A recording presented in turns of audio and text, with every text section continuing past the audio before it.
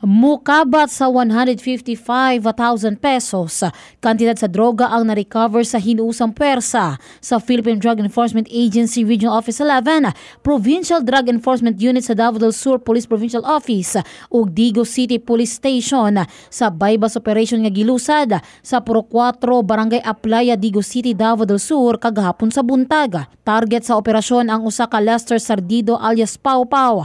Apan nakaikya suman nakatimaho sa nang singabot ng mga operating team. Hinuon, nadakpan ang kauban ni ini nga gilang si J. Kaiser Di Amad alias Bonbon, 25 anyos, ulitaw nga residente sa maong dapit. Muabot sa 12 gramo sa suspected shabu ang nakumpiska nga mobalor, 155,000 pesos ug uban pang mga drug paraphernalias.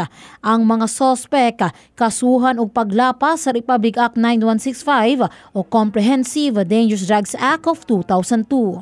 Normalin Mendoza Makilan, Brigada News.